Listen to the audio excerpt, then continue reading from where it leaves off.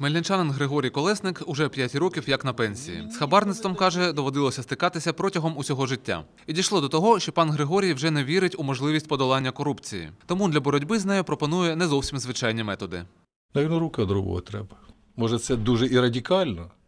Ну, не виходить. Ну, людина попадає на масляне місце і з ним щось робиться. Людина трансформується в животне, якому треба як свині хлібати і побільше дати. Активісти національного руху Ні хабарництву Я не даю і не беру хабарів для подолання корупції пропонують способи законні та менш брутальні. Але кажуть, щоб викоренити її, треба знати причини появи. Ми можемо говорити про два найосновніших чинники: історичний і ментальний.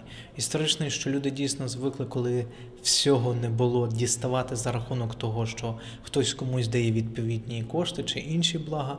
І також, е, на жаль, заклалося ментально, що люди звикли, що так легше, не думаючи, що потім рано чи пізно це приносить дуже серйозні і шкідливі наслідки.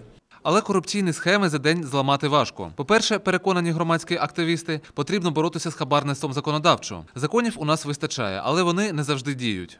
Це є і політичні чинники, це є чинники економічні, е, це є чинники ідеологічні, моральні.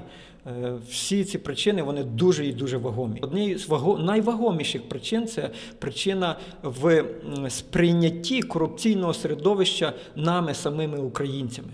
Коли ми перестанемо це сприймати, це перестануть сприймати і ті, кому ми даємо, або е, і в тому числі можновладці. По-друге, перестати самому давати хабарі.